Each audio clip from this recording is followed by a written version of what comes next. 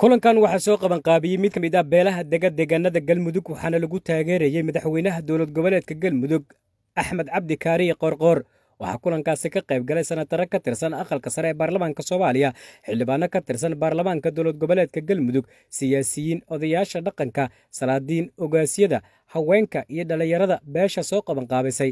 Madasha lagu taageerayey madaxweynaha galmudug xubnaha ka hadlay kulankaasi ayaa sheegay inay taageero iyo garab istaag u muujinayaan madaxweynaha galmudug iyo xubnaha kale ee maamulkiisa. Madaxweynaha jamhuuriyadda federaalku maxamed cabdulaahi maxamed waa reer galmudug. Ra'iisul wasaaraha jamhuuriyadda federaalku xasan cali khayre waa reer galmudug. Madaxweyne axmed cabdi kaariye waa reer galmudug. Jaanis baa maanta muuqda.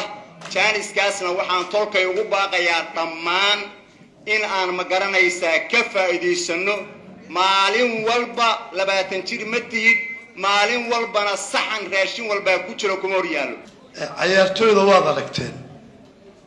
Banooniga haddii la cayaaro labada kooxood kooxaa badisa lama kala dudee inta isa salaamaysoon baa inay kala tagaan. Siyaasiyiinta maaragtay hamigu ku jiray waxaan ka codsanaynaa in inay hambalyeeyaan lana shaqeeyaan maamulka.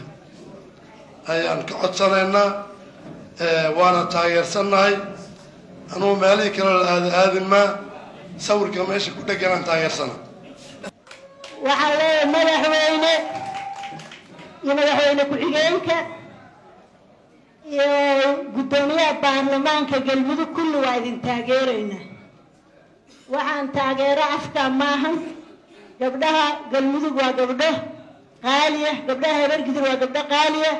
Madaxweyne way ku garab taagan yihiin. Taageeradu waa inay noqotaa qalbi iyo qaalab waa in maaragtay la garab istaagaa waa in lala shaqeeyaa waxa la taageerayaa waa maamulka.